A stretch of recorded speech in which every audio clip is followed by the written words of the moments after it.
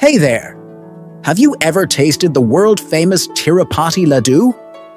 This sweet treat is not just a delicious dessert, but also carries a rich history and an incredible legacy. Let me take you through the fascinating story of this iconic laddu. History of the laddu. Did you know the Tirupati laddu dates back over 300 years? That's right.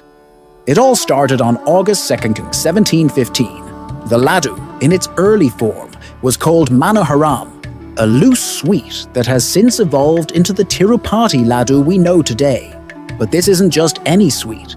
This laddu is prepared inside the sacred kitchen of the Tirumala temple, known as Laddu Potu. Laddu Potu and preparation.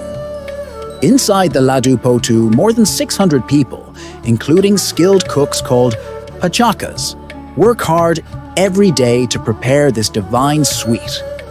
The process? It's a mix of tradition, devotion, and expertise. From the regular Proktham Laddu to the special Asthanam Laddu, which is made during festivals, each version is crafted with care. GI tag. Here's something interesting. In 2008, the Tirumala Tirupati Devasthanams, TTD, took a major step to prevent black marketing of their sacred laddus. They applied for a geographical indication tag, which was officially granted in 2009. This means that no one else in the world can prepare or sell a sweet called Tirupati Laddu. Commemoration on a postal stamp. And in 2017, the India Post even issued a postal stamp to commemorate the Tirupati Laddu as part of their cuisine series. Imagine, a sweet so famous, it's celebrated on a stamp. Laddu production numbers. Here's a number that'll blow your mind. On an average day, the Laddu Potu produces two. 8 lakh laddus, that's 280,000 laddus in a single day. And on festive occasions, this number can go up to a whopping 800,000 laddus. Earnings from Laddu's, the Tirupati temple roughly earns about 140, 150 crores annually from the sale of laddus.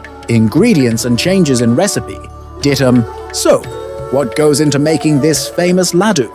The recipe, or dittam, has evolved six times to meet growing demand.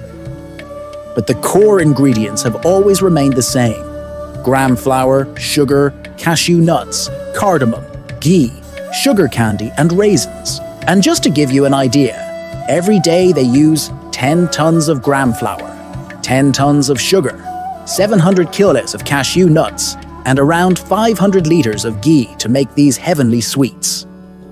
Mainly, the Tirumala Tirupathi Devasthanam has reverted back to the Nandini ghee from Karnataka after the controversy about the animal fat began.